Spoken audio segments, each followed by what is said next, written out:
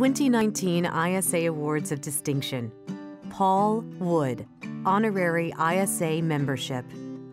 Paul Wood is the owner and operator of Black Bear Adventures, an adventure cycling firm based in Charlotte, North Carolina.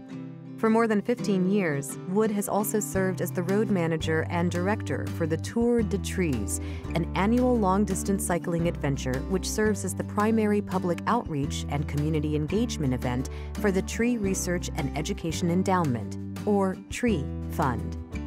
Wood began engaging with ISA in 2005 when he coordinated an experience during the ISA Annual International Conference and Trade Show in Nashville, Tennessee an accomplished cyclist and tour leader. Wood has led trips in more than 40 states, focusing primarily on private trips and managing events like Tour des Trees. Paul Wood, 2019-2020 Honorary Membership.